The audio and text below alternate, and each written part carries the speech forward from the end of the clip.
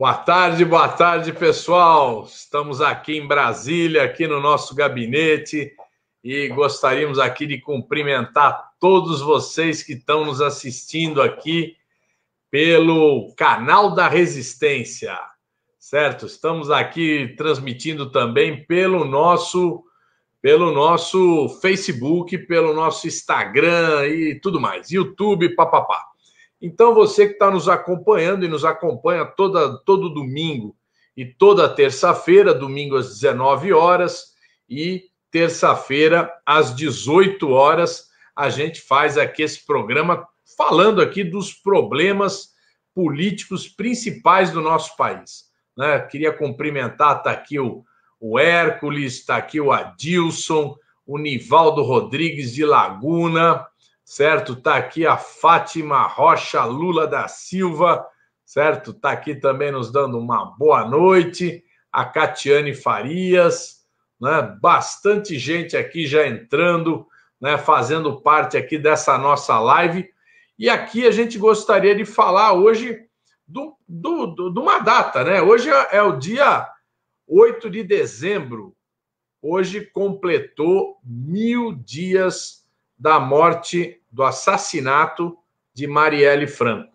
Então, é, uma, é um momento que a gente, por conta de ser um número redondo, estamos aqui é, cobrando, o Brasil inteiro cobrando, quem é o mandante desse crime político, desse crime terrível contra a vereadora Marielle Franco do PSOL, né? ela, o seu motorista, que também morreu naquela ocasião, né? um crime onde já se localizou quem são os, os, os autores do crime, vamos dizer assim, os autores que dispararam as armas, que estão presos, mas não se sabe ainda quem são os mandantes do crime.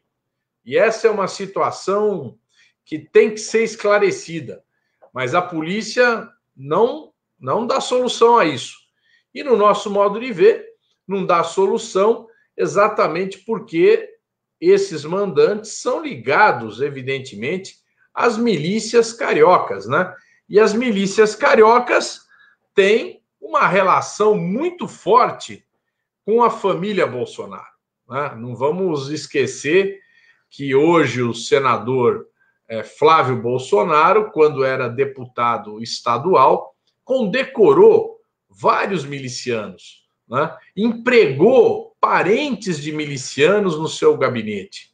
Né? Então, essa relação entre as milícias no Rio, que são muito fortes, né? com a família Bolsonaro, o Queiroz, aquele esquema todo, é uma coisa que é, realmente paralisa, leva a que a, investigação se torne, pelo menos, lenta. Né? se não for o caso que muitas provas e muitas evidências já devem ter sido apagadas, destruídas e a história vai sendo mudada. Então, nós estamos vivendo esse momento. A gente cobra uh, que esse crime seja desvendado exatamente porque é um crime é, político, em primeiro lugar. Um crime político, é uma tentativa de intimidação de forças políticas. Né? Lógico todos os crimes, todos os assassinatos têm que ser esclarecidos. Mas quando se faz um crime político, é um crime que visa aterrorizar as pessoas que têm uma determinada opinião, calar essas pessoas, fazer através do medo com que essas pessoas fiquem quietas, não falem, não lutem, não batalhem. Né? E isso foi o que não aconteceu nesse caso da Marielle porque exatamente a reação das forças populares, dos partidos de esquerda, quando desse assassinato, foi uma reação oposta. Nós passamos a cobrar a solução, a investigação desse caso.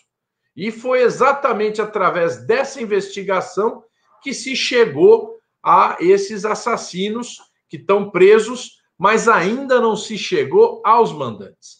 Então, tá mais do que na hora, pessoal, tá mais do que na hora da gente esclarecer isso, da gente buscar esclarecimento para essa questão, que é uma questão fundamental. Então, Nós aqui no nosso mandato de deputado federal, o canal da Resistência, né, o PT, o PSOL, o PCdoB, os partidos de esquerda, o PSB hoje no plenário também manifestou, todos manifestaram essa cobrança, né, a necessidade de se investigar e concluir quem realmente mandou matar Marielle Franco. E ao chegar, temos certeza que ao chegar nesses mandantes ou nesse mandante, nós vamos ter a possibilidade de desvendar muitas cadeias criminosas, muitas teias criminosas que funcionam no Rio de Janeiro e possivelmente no Brasil. Né? Possivelmente no Brasil.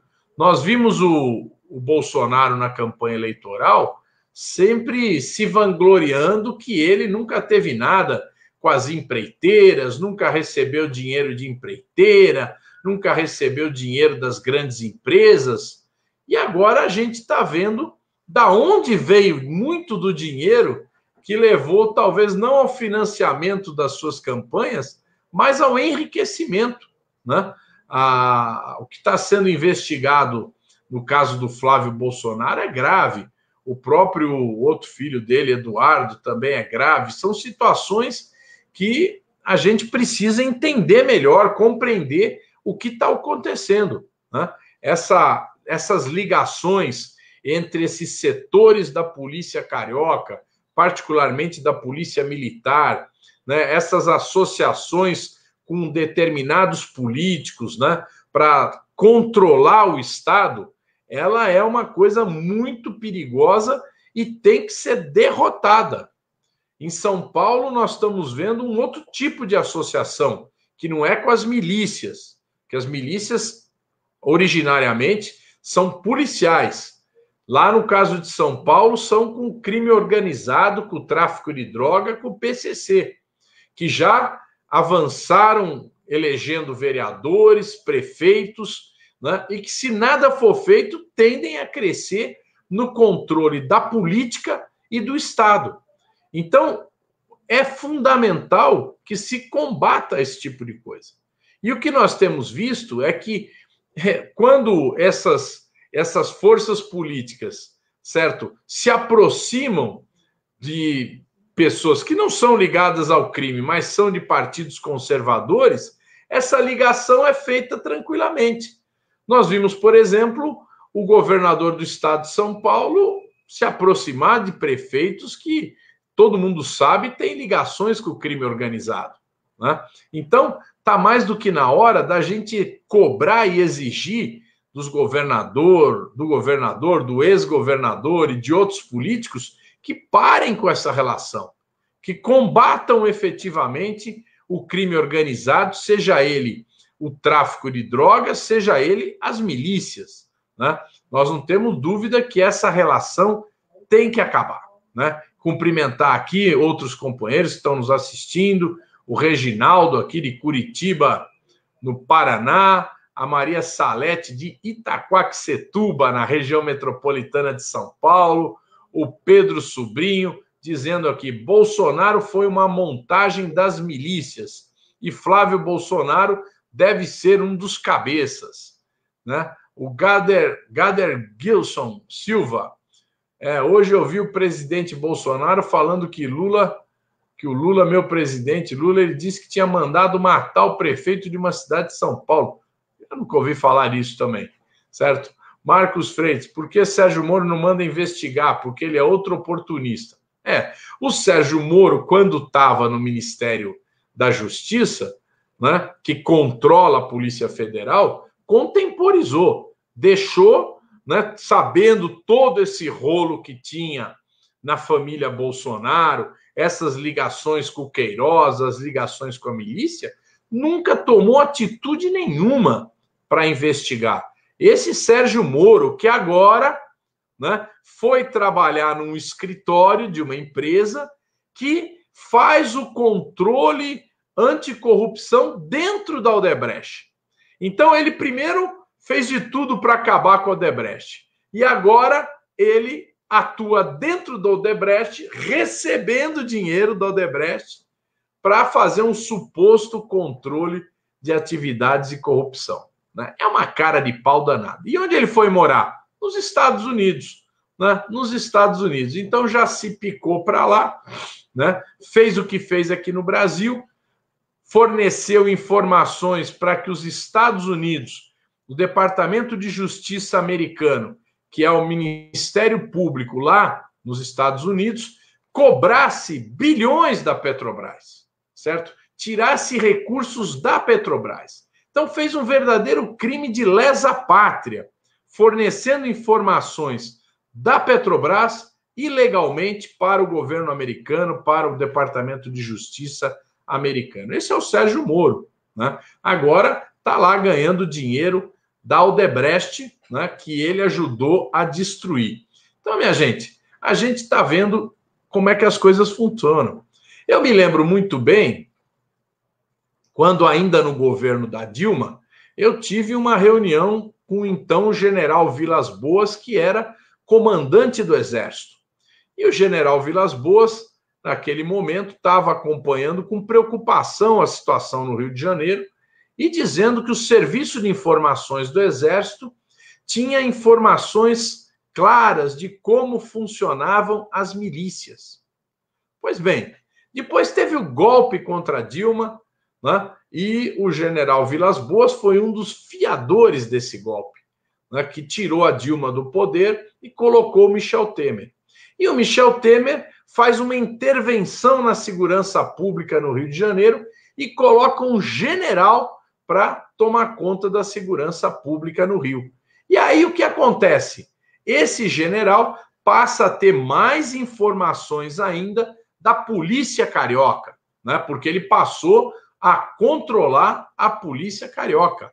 Né? Então, veja só vocês, o, o, o governo do, do Michel Temer e o próprio serviço do Exército sabia das ligações da família do Bolsonaro com as milícias. Eles poderiam ter feito muita coisa para evitar que o Bolsonaro ganhasse a presidência da República. Mas não. Os militares brasileiros comandados pelo Vilas Boas deram aval a essa a essa a candidatura do Bolsonaro de forma que ele ganhasse a eleição e então pudesse, a partir daí, fazer toda essa, essa, essa destruição que está sendo feita no nosso país. Né? Porque, de fato, o Bolsonaro falou claramente, logo que tomou posse, eu vou destruir o que existe para construir uma coisa nova. Por enquanto, ele só está destruindo. Destruindo a Petrobras, destruindo a Eletrobras, destruindo o Estado brasileiro, os mecanismos de controle, as agências, destruindo a política econômica que levava ao desenvolvimento, o Banco Nacional de Desenvolvimento, BNDES, a Caixa Econômica Federal, o Banco do Brasil, está num processo de desmonte acelerado. Agora mesmo estão vendendo oito refinarias da Petrobras. Então, minha gente, é um governo de destruição nacional. E que, além de destruir os instrumentos de desenvolvimento do país, também está buscando destruir a democracia brasileira.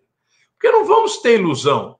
Esse governo do Bolsonaro não está interessado em manter a democracia no país. Ele quer destruir essa democracia.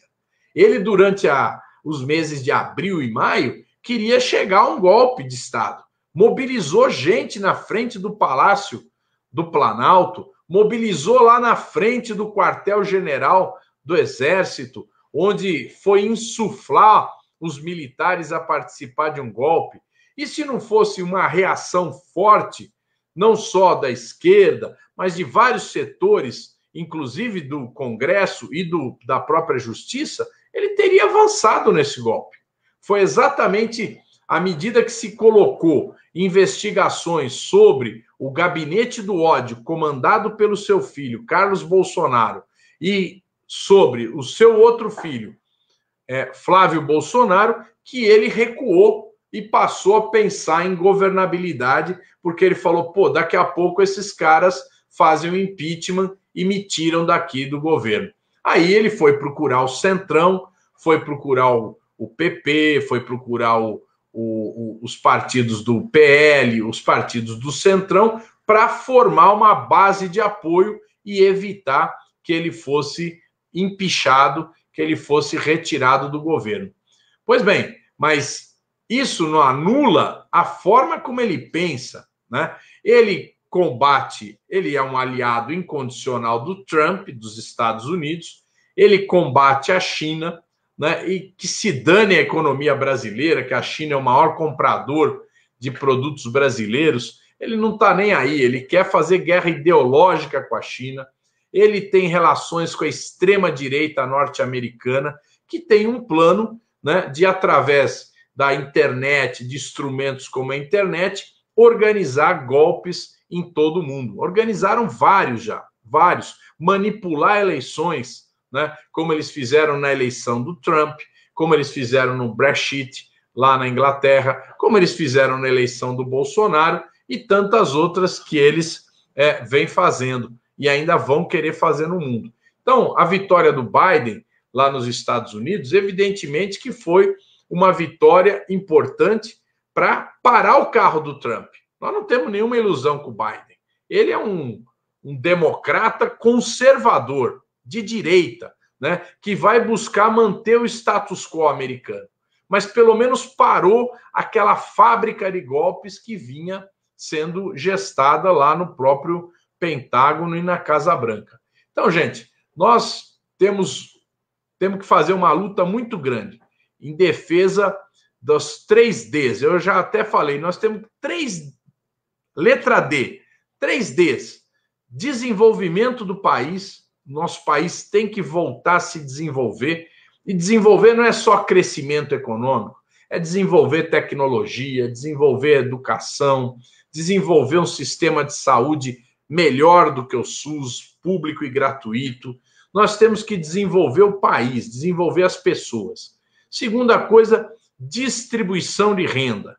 Não adianta também o desenvolvimento ser beneficiar apenas algumas famílias. Nós precisamos de um desenvolvimento e da distribuição da renda gerada por esse desenvolvimento para todo mundo certo? Para que isso chegue para todo mundo. E nós precisamos de democracia, certo? A democracia não é só ir votar lá no dia da eleição. Muita gente reduz a democracia ao fato de você ir votar. Não, democracia é a possibilidade de participação das pessoas. Participação na gestão do governo, participação na riqueza, participação nas oportunidades. Então, quando a gente fala democracia, nós queremos ampliar o conceito de eleição. É muito mais do que isso. É o combate ao racismo, né? é o combate à desigualdade de gênero, né? é o combate aos preconceitos. É tudo isso. Democracia é tudo isso. Então, nós precisamos incentivar e desenvolver os chamados 3Ds, na minha opinião: desenvolvimento, distribuição de renda e democracia. Está aqui o Isaltino Moraes falando. Sérgio Moro pediu para sair como ministro, que as coisas estavam ficando quente para o lado dele. Causo Marielle, rachadinha, ele não respondeu nenhuma palavra. Do Bozo com medo só foi herói para prender Lula. Exatamente. Ele só foi herói exatamente para tirar da, das eleições de 2018 o nosso companheiro Lula, porque todo mundo percebeu que o Lula ia ganhar as eleições. Em 2017 já estava claro. Eu, eu era líder aqui da bancada do PT e nós organizamos e apoiamos a caravana do Lula pelo Nordeste. Era uma coisa sensacional. Mobilizou o interior do Nordeste, mobilizou as grandes cidades e o Lula despontou nas pesquisas novamente, em primeiro lugar. Ele chegou em junho de 2018 com mais de 40% de intenção de votos. Mas já em janeiro, né, o, o Tribunal Federal, Regional Federal do Rio Grande do Sul, já tinha condenado Lula em segunda instância para que ele não pudesse ser candidato. E o Sérgio Moro, para impedir, inclusive, que ele fizesse campanha, é, prendeu o Lula. E depois proibiu o Lula de dar entrevista durante a eleição proibiu. Ainda assim, o PT lançou, com apoio do Lula, o Fernando Haddad e ele teve 47 milhões de votos. Então, minha gente, nós vemos aí que temos uma força do povo enorme no Brasil. Essa força é do PT, mas é também do PSOL, do PCdoB, do PSB, do próprio PDT também. É a força daqueles que defendem a democracia e defendem o nosso país. Então, minha gente, eu quero aqui dizer a vocês, nós já estamos aqui com muita gente nos seguindo, né? Nos acompanhando. Como é que tá aí, Gemima, nosso a nossa placar aí? Você tem aí? Tem, 180. 180 pessoas aqui nos acompanhando. Quero cumprimentar todos vocês, né? E dizer que a gente vai toda terça-feira estar tá aqui falando dos principais problemas políticos. E nós vamos falar também da questão que agora virou é, é, um assunto importante, que é a eleição da presidência da Câmara e da presidência do Senado Federal, que vai se dar no dia 1 de fevereiro. Né? Mas desde já começaram as articulações. E a gente viu aí no domingo, né, completou o julgamento, que não é bem o julgamento, foi uma consulta que o PTB fez ao Supremo Tribunal Federal, se os presidentes que já haviam sido eleitos da Câmara e do Senado poderiam ser reeleitos no mesmo mandato. E o Supremo Tribunal Federal, eles tinham feito um combinado lá dentro de que é, a maioria votaria a favor dessa possibilidade de que eles pudessem ser reeleitos.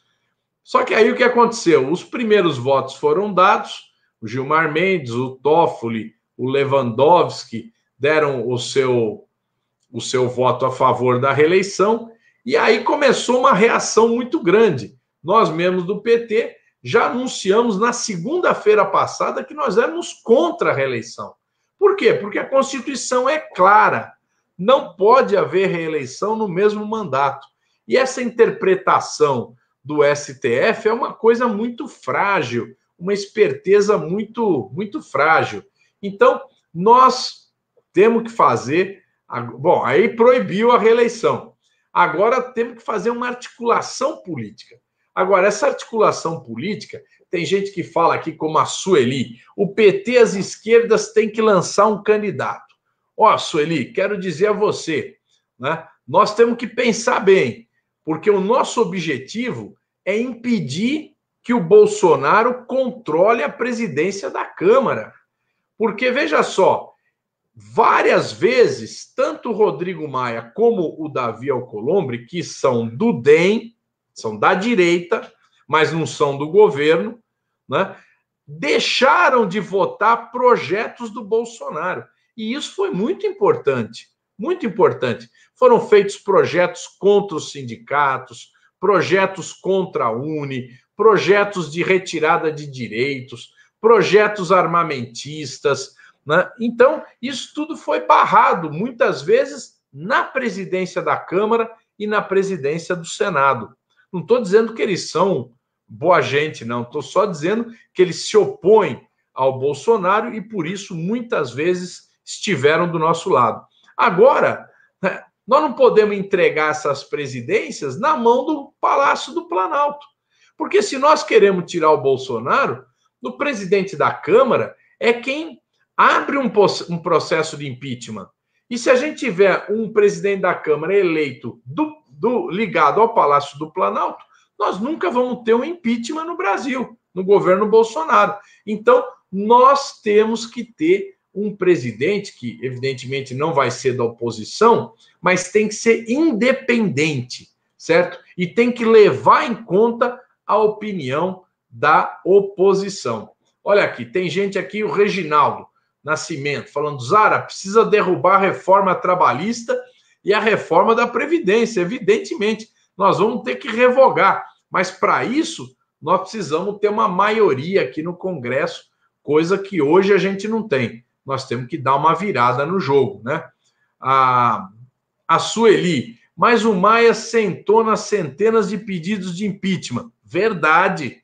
Não são centenas, são 57. Mas tanto faz, 57 ou 100 são muitos. Né? Evidente que ele sentou em cima, porque ele não tem a coragem, né? e nós também não temos mobilização de rua para exigir a retirada do Bolsonaro. Esse ano, nós estamos desde abril na pandemia, desde março na pandemia. Teve todo o fechamento. Nós não pudemos mobilizar o povo. As campanhas eleitorais foram muito difíceis, porque a gente não podia reunir o povo, não podia fazer plenária, não podia fazer rua. Então, veja vocês, a pandemia também atrapalhou a nossa mobilização. Né? Então, gente, eu acho que a gente tem que ter, ainda que ele não tenha tido a coragem de votar o impeachment, nós temos que ter um presidente que não seja uma pessoa que não queira votar o impeachment. Nós precisamos ter essa condição. Né? A Marília, Marília Pereira da Silva, Rodrigo Maia tem que sair de cima dos pedidos de impeachment. Exatamente. Mas ele não vai sair, não, viu? Ele não vai sair porque ele não, não tem essa visão de que a gente tem que tirar o Bolsonaro e ele não tem a coragem de fazer isso sem a mobilização popular. Está aqui também o Eduardo Rossi, lá do Embu grande amigo lá do PT, né? Arcília Zanon de Mauá, Mauá, cidade que o PT ganhou lá com o prefeito Marcelo, um jovem metalúrgico de luta, de luta, muita luta, né? É, tá aqui também o Cleiton Figueiredo dizendo: eu acho que o PT deveria lançar candidato. Giovanni Oliveira de Delmiro Gouveia, né? Aqui está também a Edna Amaral, votou no Haddad 2018. É isso aí, gente. Bastante gente. Leonice Gaia de Tucuruí, no Pará, certo? Onde tem uma grande usina hidrelétrica lá. E então, gente, nós estamos aqui e a gente quer aqui, então, agradecer a vocês essa audiência de hoje. Nós vamos voltar no domingo né, e vamos falar mais aqui, porque novas notícias da presidência da Câmara vão surgir e nós vamos também comentar a questão econômica, porque o ano está se encerrando, né? nós estamos já no dia 8 de dezembro, né? dia que completou mil dias da morte, do assassinato de Marielle, e o ano terminando, acaba o auxílio emergencial e o desemprego é cada vez maior. Então, nós vamos entrar 2021 numa situação muito difícil para o povo brasileiro. Então, a pergunta que nós vamos responder, debater no próximo domingo é como resolver essa crise que vai piorar muito no ano de 2021.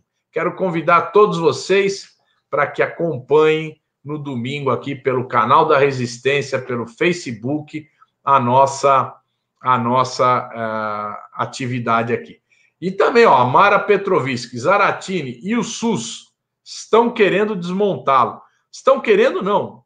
Estão desmontando. Olha só, acabaram agora com os programas de saúde mental, estão reduzindo vacinas, não a da Covid, de outras vacinas, estão reduzindo a aplicação de vacinas. É o desmonte do Brasil, gente. E é por isso que eu sempre digo: cada dia a mais do governo Bolsonaro é um dia a mais de desgraça para o povo brasileiro. Por isso a gente tem que acabar com esse governo. Fora Bolsonaro, vamos derrotá-lo a todo momento. Tá bom, gente? Um grande abraço, muito obrigado a vocês. Vamos para a luta e vamos para a vitória.